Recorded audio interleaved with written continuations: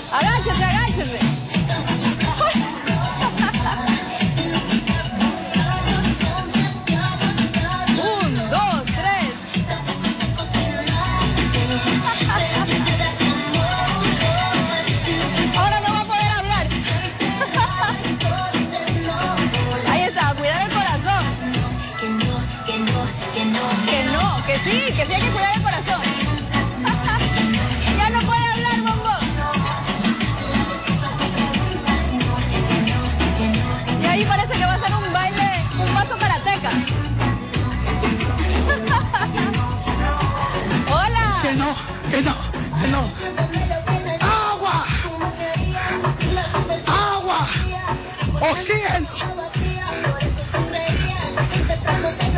¡Oxígeno!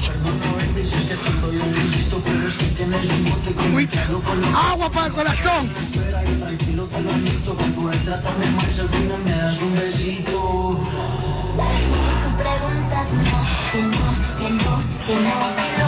Eso. Oxigenar el alma, oxigenar el corazón, hacer ejercicio con una bolita para presionar. Todo esto es obligación para mantener una buena salud, un corazón bombeando bonito y metiéndole toda la fuerza, las ganas para que usted pueda disfrutar de un corazón joven, saludable. Para eso estamos aquí en el Hospital del Día para llevar calidad de vida a nuestra gente, a nuestro pueblo que merece vivir bien. Por eso hay que cuidar el corazón. Una bolita, ¿ve? Un bailecito, un bailecito, un traguito de agüita, frutas, tenemos frutas. Mire, la calidad de vida es importante. Tenemos guineo, manzana, ahí está. Las caras lindas de esta niña invita a que usted tiene que cuidarse bien. Bueno, ustedes dirán, ¿qué hace la bombón por allá? ¿Qué hace la bombón por allá? La bombón está acá, llevándole un mensaje positivo para la comunidad. Aquí tenemos al doctor, ¿me dice su nombre? Jorge Mejillón Calderón. Jorge Mejillón Calderón. Él nos va a explicar el concepto y el motivo de nuestra presencia y la presencia de toda la gente que está esta mañana en el Hospital del Día. Doctor, buenos días. ¿Cómo están? Buenos días. El día de hoy estamos celebrando el Día Mundial del Corazón. Como tenemos conocimiento, se celebra los, todos los 29 de septiembre a nivel mundial por ser un órgano tan noble para el ser humano. Nosotros como Hospital del Día, Efraín Jurado López, hemos organizado un evento, como ustedes pueden ver, es un evento que está dirigido a toda la población, a toda la ciudadanía, no solamente a los afiliados a la Seguridad Social, sino a todos, incluso a los que no son afiliados. Desde la edad, desde la niñez hasta el adulto mayor, porque sabemos que el corazón puede ser eh, presa fácil de cualquier tipo de enfermedades. ¿no? Doctor, ¿cuál es la edad precisa para empezar a cuidar este órgano importante de nuestro cuerpo? Bueno, realmente tenemos que cuidarlo desde muy temprana edad. Se han, habido ya estudios en los que determinan de que a edad muy, muy precoz, desde los 30 años, comenzamos a tener enfermedades cardiovasculares como el infarto agudo del miocardio, que es una de las enfermedades que produce eh, muerte súbita en algunos de los casos. Por ejemplo, vemos aquí un niño, un jovencito, usted me estaba hablando de la edad. Pero el niño que tenemos aquí no tiene 30 años. No, el niño probablemente tenga unos 12 o 13 años, pero nosotros necesitamos ver el índice de masa corporal, el peso del niño para poder determinar si tiene algún tipo de factor de riesgo que podría llevarlo a tener una consecuencia de una enfermedad cardiovascular. Porque se han habido casos que niños nacen con problemas cardiovasculares y obviamente la continuidad de su vida será un complejo porque tiene que dedicarle a hacerle un trato especial por motivo de que su corazón empiece ya a presentar problemas desde muy tiernos. Así es, son trastornos congénitos en el que el niño ya desde muy temprana edad necesita incluso tratamientos quirúrgicos para poder reparar esa lesión con la que han nacido. Y consecuentemente a esto necesitan llevar un tratamiento eh, ya un poco más complejo en el resto de su, de su vida. Doctor, eh, el doctor Mejillones es un doctor que tiene conocimiento especialista en corazón y obviamente está sugiriendo, ¿qué le, qué le recomienda a las personas que tienen problemas del corazón? Bueno, a todas las personas eh, que tengan o no trastornos cardiovasculares se les recomienda cambiar su estilo de vida, ¿no es cierto? Debemos... ¿Cómo qué? Por ejemplo, ¿cuáles son las directrices de este cambio de vida? Bueno, empezando por una dieta saludable, ¿no es cierto? Una dieta baja en sal, una dieta baja en grasa, baja en carbohidratos. Luego mantener una rutina de ejercicios, por lo menos... Pero usted como ecuatoriano le está pidiendo mucho a los ecuatorianos.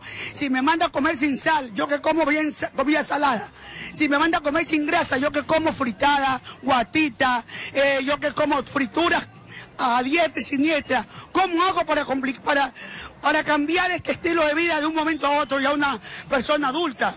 Bueno, es, realmente es un poquito difícil, ¿no es cierto?, para nosotros porque nuestra comida es rica, rica en todo, ¿no? rica en carbohidratos y rica en sabor. Yo como buena negra me gusta comer salado, me gusta comer con alta grasa, con alto coco, maní y todas esas cosas que nos llenan. La gastronomía ecuatoriana es rica en todos estos impedimentos que usted dice. Claro, pero tenemos que tener un poquito de conciencia para poder determinar de que todo este tipo de alimentación nos pueden provocar eh, daños a nivel cardiovascular. Entonces, realmente aquí vamos a hacer tener puntos informativos donde nutricionistas y especialistas nos van a explicar cómo mantener, cómo seguir comiendo rico, como usted mismo dice. Cómo seguir comiendo rico y permanecer rico y permanecer joven. Mi querido Javier, ahí está Puchi. Puchi, él es, él es un hombre de medio. Puchi, ahí está mi cuchicuchi. Eh, él, él es pequeño, pero como pequeño tuvo una actividad muy fuerte, tiene que tirarse esa cámara al, al, hombro y tiene que comer, dice que tiene tres mujeres y a las tres mujeres tiene que darle, tiene que darle todo ese cargamento, para la hora en la hora su corazón no le responde. Bueno, entonces... ¿Qué le recomienda Puchi? Hacer por lo menos ejercicios cardiovasculares una hora diaria, que pueden ser desde caminata, trote, bicicletas, natación. Con eso vamos a tener un, estilo de vida mejor y evitar todo este tipo de consecuencias de, enfermedades cardiovasculares. Y en, en, estudio tenemos a nuestro compañero José, eh, José Luis Arevalo, es un papi papi, así, pero cuando lo pongo a bailar está casi, y suda, transpira, y se, y se queda sin oxígeno.